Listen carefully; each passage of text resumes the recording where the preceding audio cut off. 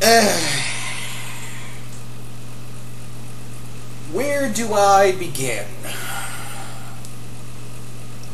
Because this episode really got under my skin.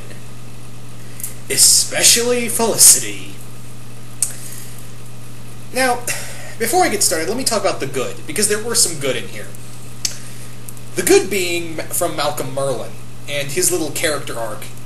And I, re- I first off, I really love that the flashbacks this time around were about Malcolm. And John Barrowman gives such a great performance in the flashbacks and in here.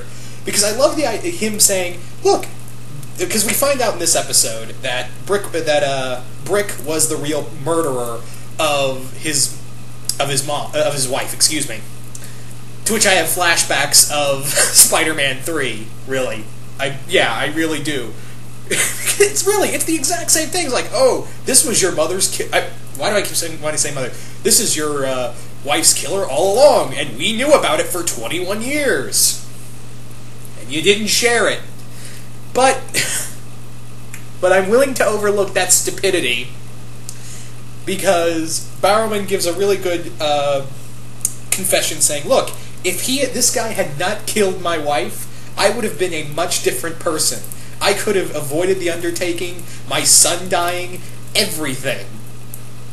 And I really like that, especially like when you know he talks about the first time he killed people, he killed a man, and this is obviously the who he thinks killed his wife, and yeah, I mean those were really good scenes. Everything with with Malcolm in here is really good. But let me say one thing about the flashback. When he's talking to young Nyssa, and he she's like, you know, the only reason you came here was to fight. Give me one reason why I shouldn't kill you. He does a magic trick in front of her and pulls out a coin, and she says, "You're a magician." To which I face palmed because I, I literally said out loud, "Well, I guess I know how I won't be killed a, by an assassin. I'll just pull it. I'll just do a magic trick." I mean, yeah, I know Nis is a kid in this flashback, but come on. Really? He's like, oh, magic trick. But having said that, Barrowman does give a really good performance, especially the stuff with young Tommy as well. So I'm cool. I'm cool with the Bauer with the you know the Malcolm a lot of the Malcolm Merlyn stuff. Still don't care about Felicity at all. Brick was a really good villain, by the way, for the three scenes. You know, well, the majority of the scenes he was in, and now we'll probably never see him again. yeah. Also, it looks like this uh, this uh, episode took some pages out of the uh, out of Dark Knight Rises. No, literally, was anyone else thinking Dark Knight Rises in that ending scene where they get the Glades together to fight uh, Brick and his men? Anyone else thinking that? Yeah. As you can tell, I'm not a fan of this episode. But there were some really good scenes in here. Like, uh, we got to see Sin back, which was actually pretty cool to see her back. But yeah, I. Hmm. I. What was I saying? There are just some really dumb scenes in here, and let me talk about another scene that just really got. Again, the stuff. A majority of the stuff between Malcolm and Thea is actually pretty good, and that was a really big saving grace for me in this episode. The stuff with Oliver and Tatsu, that was okay. And uh, let me talk about a few scenes that just really bothered me, and I can't be the only one who thought this. Like when uh, Roy's talking about, you know, Roy's talking to Thea, and she says, "Well, Malcolm Merlyn during the siege, uh, he saved me, and suddenly he's okay." And sud- and this is right after Malcolm suggests teaming up to kill uh, to kill Brick, and after Thea says that, he, you know, suddenly, uh, you know, Roy's all like, "Maybe we should go. We should just let him turn. We should just turn Malcolm loose on him because he he had an objective and he wants to save this city, even though he killed 500 people." I literally face palmed at that moment because I was like, "God damn it, Roy! You." God damn it. What are they doing? Did they did they just decide just to make sure Oliver was, you know, people could think Oliver was a good character? They just made everyone else collectively goddamn stupider. Because again, it just didn't like again, the dude came up to Thea, uh, you know, came up to Malcolm in the previous episode saying, "You're poison and you're going to end up hurting Thea even if you don't know it yet." So why suddenly do this? And here's the icing on the cake right here. Here is the icing on the cake that just really made me go, fuck you. Just fuck you. It was the moment when Oliver returns, and it's a really good, joyous, it's a really happy moment. And then, you know, he talks about saying, you know, I have to train with Malcolm to finally kill Ra- uh, Ra's al Ghul because he's coming for Malcolm, me, and Thea. So, what happens is that Felicity says, No, I just said you would never work with Malcolm just to kill someone. You would never be like that. To which I respond with bullshit because I remember four episodes ago you said you have to kill Ra's to, you know, if you're going to, the only way to beat Ra's is to kill him. You said that, Felicity. You said those exact words. So why are you suddenly pissed off at Oliver for training to kill the guy you said to kill? Ugh. What the hell? I hate to, you know, come on here and rag about it because, you know, the past two episodes I found things to like about it.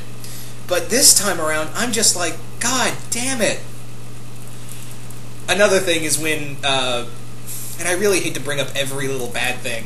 And maybe, I, I don't know, maybe this wasn't so much a bad thing, but I was kind of thinking when, you know, they're talking about, well, who else can we call? And then, you know, Laurel says, how about we call everyone in town?